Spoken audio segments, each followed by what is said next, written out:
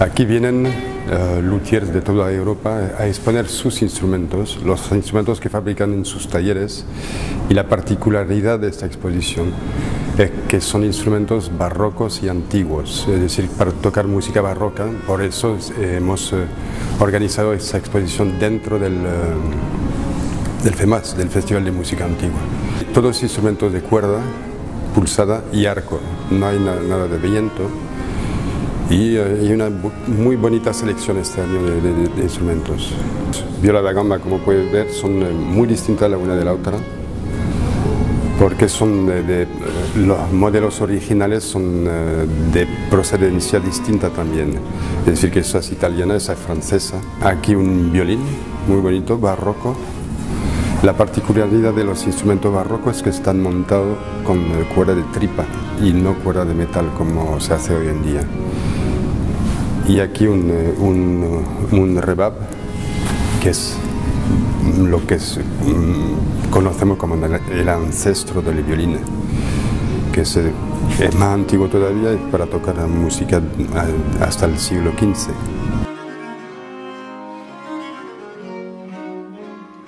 Los, los, instrumentos son reproducciones, son copias de instrumentos antiguos, tal como se, eh, para fabricado tal como estaban fabricados en esta época para tocarlos de la misma manera que se tocaban en, aquella época también. Participan a la exposición, van a construir un instrumento, un violonchelo, que será copia, lo, vemos aquí en los paneles, es una copia de, un instrumento uh, del siglo XVIII español. El último instrumento, bueno, el único instrumento original que queda uh, de esta época de fabricación española que una técnica un poco peculiar, algo peculiar que, se, que recuerda mucho la construcción de las guitarras, por lo tanto, muy español. Los árabes trajeron todo ese tipo de instrumentos, desde el rebab, el laúd, la, la viejuela, y se, se, expandieron desde España hacia el resto de Europa. Va dirigida al público sevillano, por supuesto, pero al público músico eh, en general, es decir, gentes de España que tocan ese tipo de música saben ahora ya que hay una, una, un encuentro todos los años donde pueden venir a ver instrumentos, probarlos y adquirirlos si, si se da el caso. La mayoría de los luthieres eh, conocen esta feria y, y el que puede y tiene instrumentos seguramente que viene. Venimos buscando a lo mejor contactos profesionales que a lo mejor en un futuro pues es probable que te compren algo.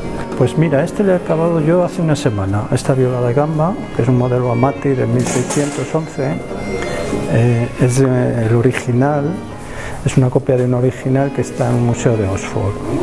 Yo con esta llevo desde diciembre trabajando en ella y, y he terminado, como digo, la semana pasada, prácticamente de tres meses para arriba. Es la tercera edición, somos bastante luthieres a pesar de la crisis, lo que quiere decir que esta exposición ya ha cogido alguna buena imagen. El hecho de que exista en Sevilla una, un departamento de música barroca en la, la, el Conservatorio Superior y que haya una orquesta barroca también le da mucha, un plus, por supuesto, al hecho de, de montar este festival aquí y, uh, y esta exposición. Hay interés para ese tipo de música aquí en Sevilla, sí.